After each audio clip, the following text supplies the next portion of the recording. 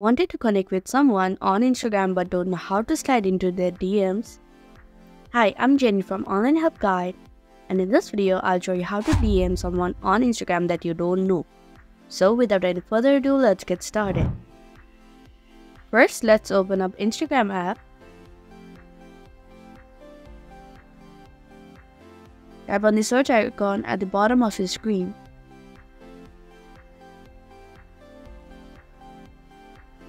Then type the name of the person that you want to send your DM to. After you see their account, tap on it to see whether their account is public or private. If their account is public, then you can just tap on message and DM them. But if their account is private like this account, then you will have to send friend request first.